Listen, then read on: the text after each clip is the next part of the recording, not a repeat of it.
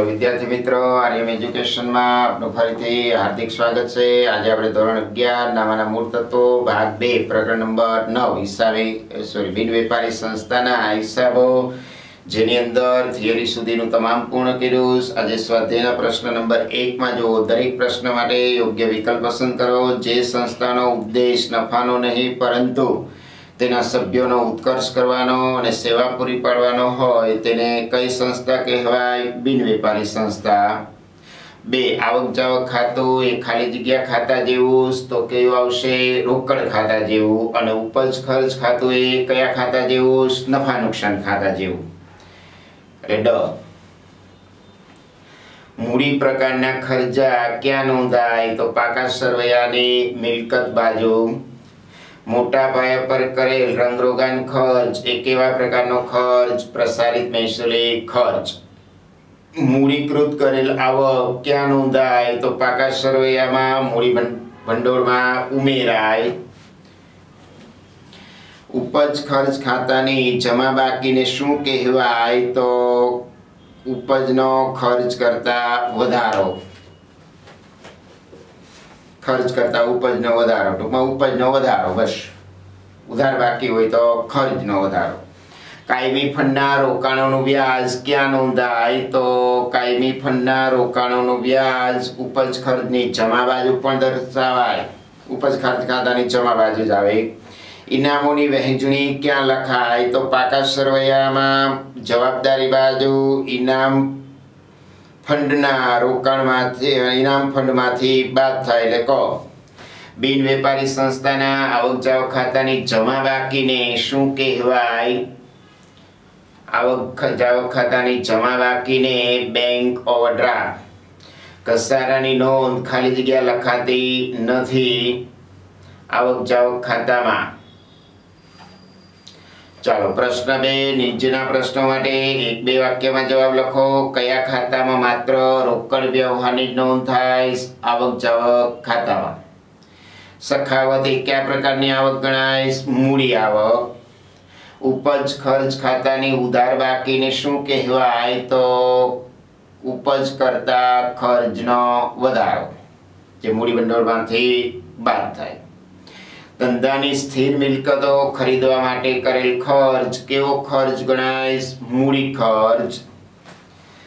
જે આવક નિયમિત મળતી હોય અને સામાન્ય પ્રવૃત્તિમાંથી જ ઉદ્ભવતી હોય, તે કયા પ્રકારની આવક કહેવાય? તો મહેસૂલી આવક.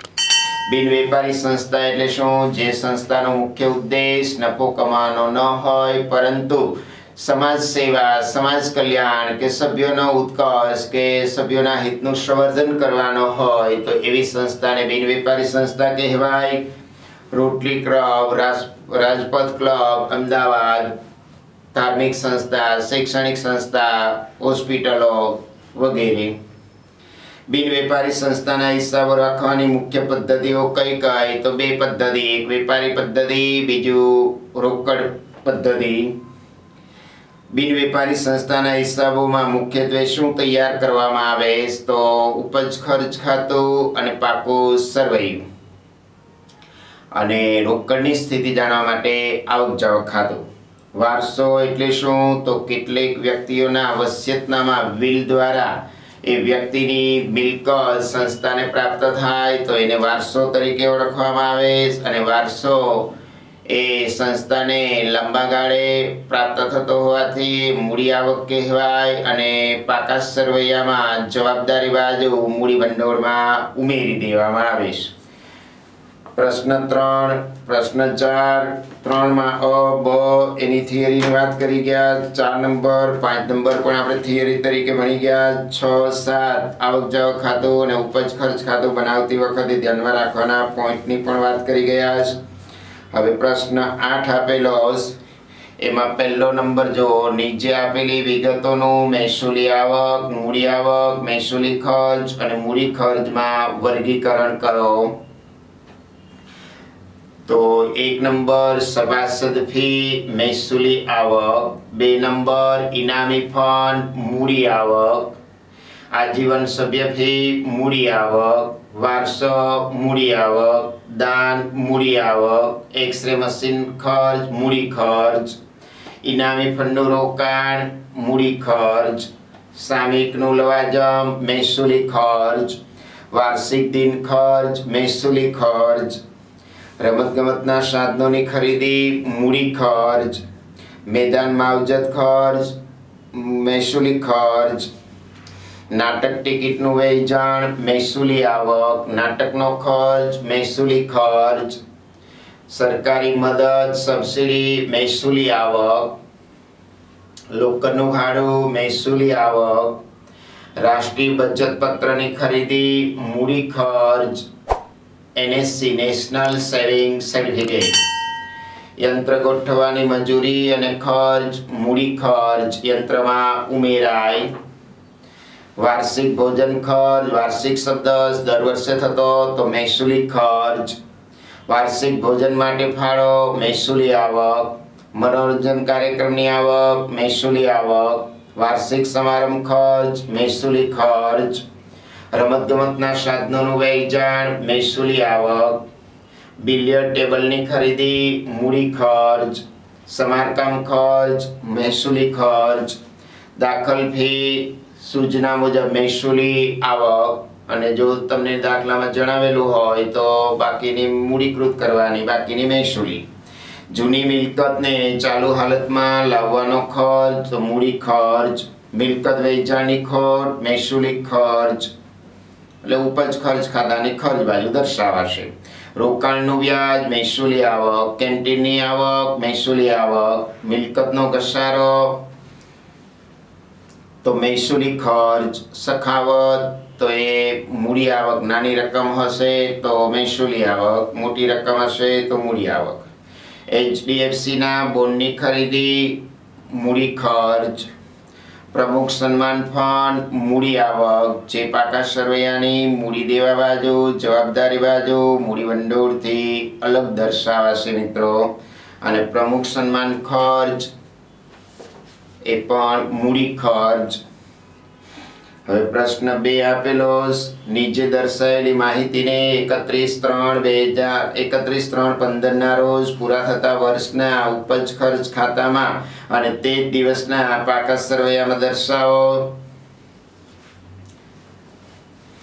તો ચૌદ પંદરના વર્ષ માટે મળેલ વાજમ એસી હજાર આપેલું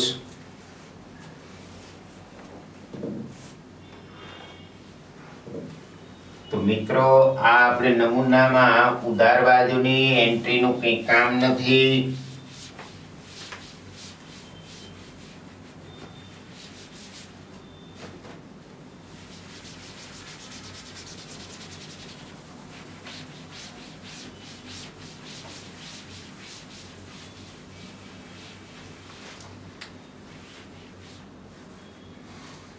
ઉપજ ખર્ચ ખાતું એમાં જમા બાજુ ચાલુ વર્ષનું લવાજમ, તો એ તમને ચૌદ પંદર ના વર્ષનું મળેલ લવાજમ એસી હજાર આપેલું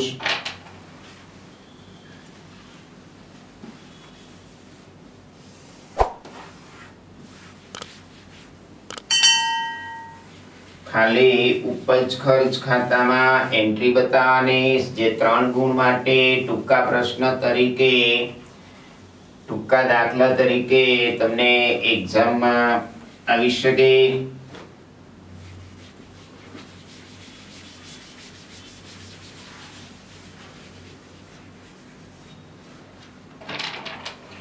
તો જો ચાલુ વર્ષનું મળેલ લવાજમ તમને એસી હજાર આપેલું એ અંદર વત્તા મળવાનું બાકી લવાજમ એમાં તમને ચાલુ વર્ષનું મળવાનું બાકી, એકત્રીસ, ત્રણ પંદરની રકમ, જે પંદર હજાર છે, ચાલુ વર્ષનું લવાજમ મળવાનું બાકી, એમાં ઉમેરીએ એટલે પંચાણું હજાર અંદર. અને ગયા વર્ષનું મળવાનું બાકી ચૌદનું જે આપેલું બાર હજાર એ બાદ કરીએ. એટલે ત્યાંસી હજાર અંદર. હવે એ જ રીતે ગયા વર્ષે અગાઉથી મળેલ એ ચાલુ વર્ષના ચૌદ ના આઠ હજાર એ ઉમેરીએ. એટલે એકાણું હજાર અને એમાંથી ચાલુ વર્ષે અગાઉથી મળેલ છ હજાર બાદ કરીએ. એટલે પંચ્યાસી હજાર લવાજમ બહાર આવશે અને પાકા સરવૈયામાં એન્ટ્રીઓ દર્શાવીશ તો પાકું સરવૈયામાં. મિલકત લેણા બાજુ લખવાનું, ચાલુ વર્ષનું મળવાનું બાકી લવાજમ પંદર હજાર બહાર બે ત્રણ લીટીનું પાકું સર્વે આંશિક બનાવી નાખવાનું, એમાં ચાલુ વર્ષની મળવાનું બાકી લવાજમ મિલકત લેના બાજુ આવશે અને ચાલુ વર્ષે અગાઉથી મળે લવાજમ મૂડી દેવા બાજુ હવે એ જ રીતે ઉપજ ત્રીજા દાખલામાં નીચેની વિગતોના આધારે એકત્રીસ ત્રણ પંદરના રોજ પૂરા થતા વર્ષના ઉપજ ખર્ચ ખાતામાં દર્શાવો. તો લવાજમ તમારે બતાવવાનું છે મિત્રો. ચૌદ પંદર. નવ આપણું વર્ષ છે, એટલે ઉપજ બાજુ લવાજમ પંચોતેર હજાર બહાર. તો જો ચૌદ, તેર ચૌદનું બારસો અને પંદર સોળનું અગાઉથી મળેલું પેલું મળવાનું બાકી એની એન્ટ્રી આપવાની નથી. ચાલુ વર્ષનું લવાજમ પંચોતેર હજાર તમારે ઉપજ બાજુ દર્શાવવાનું છે. હવે કરવેરા અને વીમો ખર્ચ બાજુ દર્શાવવાનો છે. બરાબર? ત્યારબાદ પગાર. ખર્ચ બાજુ બત્રીસ આઠસો વત્તા. ચાલુ વર્ષનો ચૂકવવાનો બાકી પગાર ત્રેસઠસો ઉમેરવાનો અને ગયા વર્ષનો ચૂકવવાનો બાકી ત્રણ હજાર પગાર માઇનસ કરવાનો. હવે ખર્ચ બાજુ તમારે સ્ટેશનરી ખર્ચ દર્શાવવાનો વત્તા એમાં શરૂનો સ્ટોક છસો સિત્તેર ઉમેરવાનો અને વર્ષનો આખર સ્ટોક બસો પચાસ, બાદ કરવાનો. ઓકે, તો ત્યાં ત્રણ સુધીના દાખલાઓની વાત કરીએ. ચાર નંબરના દાખલાથી આપણે નેક્સ્ટ વિડીયોની અંદર જઈશું. બાય બાય થેન્ક યુ જય શ્રી કૃષ્ણ.